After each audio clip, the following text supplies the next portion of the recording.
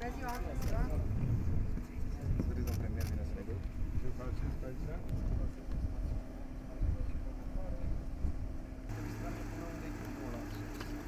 Da, da. Și poate fi prelungit, o să special pot toată treaba asta.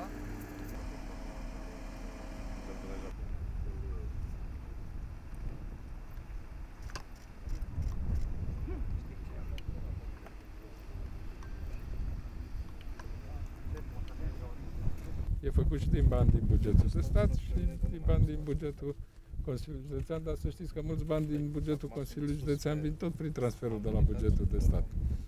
Așa că, Deci, practic, din bani guvernamentali.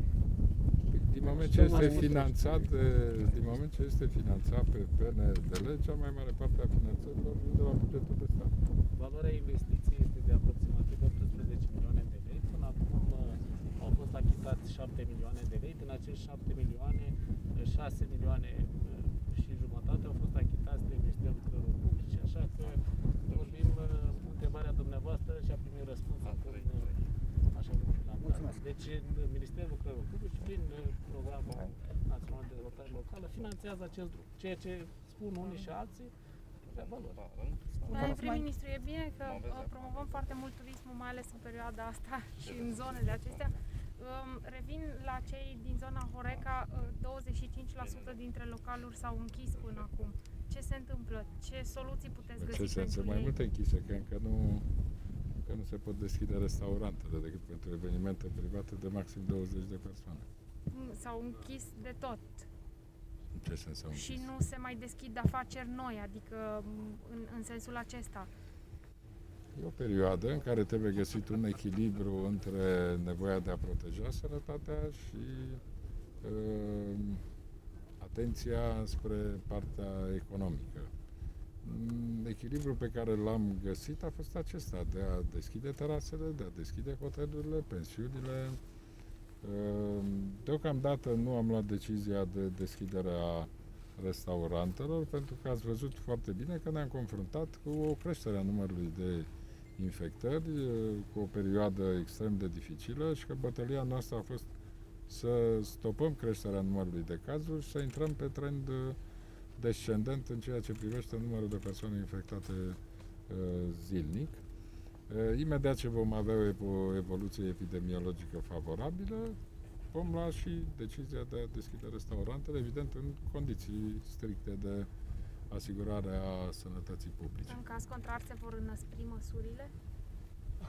Păi, Deja am luat decizii pe care le-am considerat uh, importante, am redus programul de lucru, Uh, de asemenea am luat decizia în uh, locuri uh, foarte aglomerate uh, unde nu se poate respecta distanța fizică de protecție sanitară din cauza locurilor strânte, să se poarte mască și în aer liber. Uh, De asemenea, toate instituțiile statului cu drept de control, uh, indiferent că este vorba de poliție, jandarmerie, direcții de sănătate publică cu inspecțiile lor sanitare, ANSVSA, inspecțiile teritoriale de muncă, toate instituțiile cu atribuții de control sunt mobilizate pentru a determina instituțiile și angajatorii să respecte regulile și cetățenii, evident.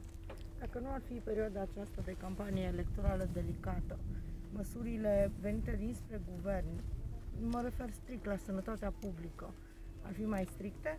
Adică sunteți cumva încurcați de Nu o există temere... nicio legătură între campania electorală și faptul că e un an electoral și măsurile pe care le luăm.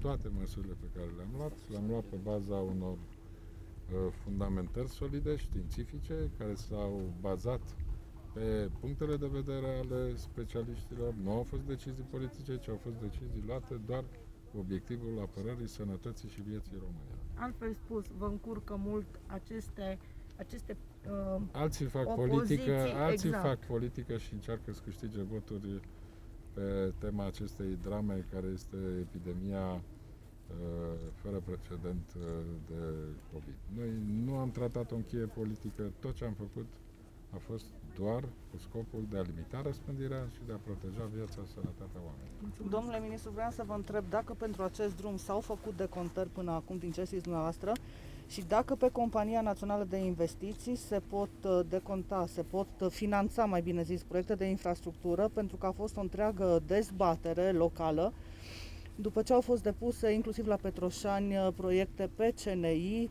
de infrastructură.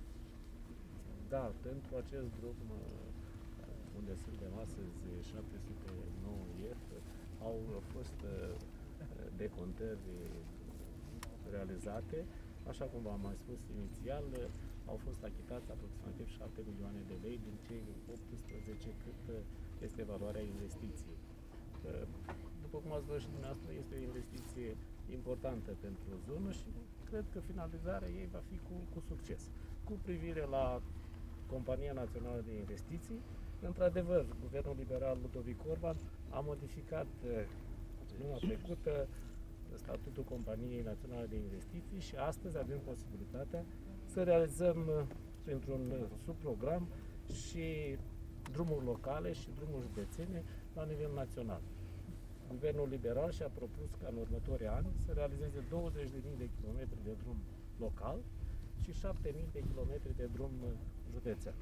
Asta înseamnă că vom reuși în câțiva ani să dublăm, să dublăm kilometri de, de drum reabilitat în kilometri de drum național, drum județean și drum local reabilitați în, în România. Astăzi suntem la 31,2% din drumurile locale județene reabilitate. La finalul acestei perioade de investiții vom ajunge la 76% din drumurile locale și județene reabilitate și îmbunătățite. Domnule ministru, să știți că la Petroșani am depus uh, șase străzi pe acest program. Sperăm să putem să fim și finanțați. E vorba de Malea, de Slătineală, drumuri foarte importante. Unul dintre aceste drumuri este cel pe care am și venit către această stațiune. Domnule primar, vă pot spune că în această săptămână Compania Națională de Investiții a înaintat primul ordin către Ministerul Lucrărilor Publici pentru a fi aprobat cu lista sinteză a viitoarelor drumuri locale ce vor fi finanțate de Ministerul Lucrărilor Publice în această companie.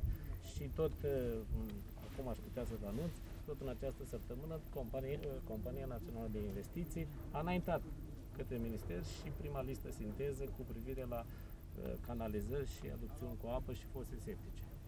Așa că guvernul Ludovic Orban transformă vorbele în fapte. Noi suntem niște oameni puțini de cuvânt, ne-am propus să realizăm investiții în România, am vorbit cu constructorii și cu antreprenorii că nu vom închide niciun șantier și nu am închis niciun șantier. Suntem într-o perioadă de pandemie și, după cum vedeți, peste tot uh, se lucrează, așa cum am spus, șantierele au funcționat, um, antreprenorii și-au primit banii, nu avem, uh, nu avem probleme de finanțare, suntem într-o relație corectă cu mediul privat. Guvernul Ludovic Orban a tratat în mod serios relația cu, cu antreprenorii români și privați și de aici rezultatele se văd, sunt lucrări care se vor finaliza la timp, sunt lucrări de calitate și noi ne bucurăm că am putut să, să fim parteneri antreprenorilor români. Mulțumim!